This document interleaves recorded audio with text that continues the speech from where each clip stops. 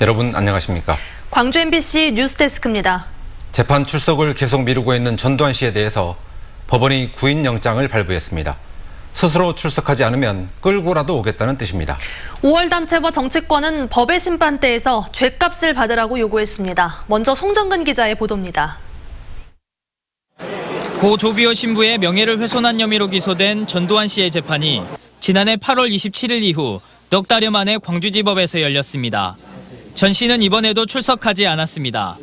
전 씨의 변호인은 전 씨가 독감과 고열로 외출하기 어려운 상태라며 출석하지 않은 이유를 밝혔습니다. 연세가 많으신 어, 어르신이기 때문에 뭐 고열 때문에 식사도 못 하시고 기력을 차리지 못하고 계십니다. 법원은 오는 3월 11일 오후 2시 30분으로 재판을 다시 연기하고 전 씨에 대해 구인영장을 발부했습니다.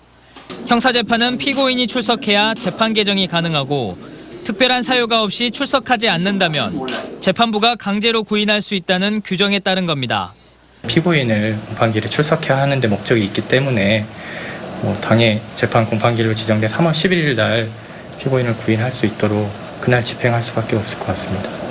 우월 단체들과 민중당은 재판이 열린 광주지법 앞에서 잇따라 기자회견을 열어 재판에 출석하지 않는 전 씨를 강하게 비난했습니다. 광주의 학살자 전두환은 하루빨리 자신이 저지른 만행의 진실을 밝히고 국민 앞에 고개 숙여 사죄하라. 지금 당장 법의 심판으로 죄값을 치르라. 재판을 방청한 시민들도 재판장의 모습을 나타내지 않은 전 씨를 향해 무책임하다며 비판의 목소리를 높였습니다. MBC 뉴스 송정근입니다.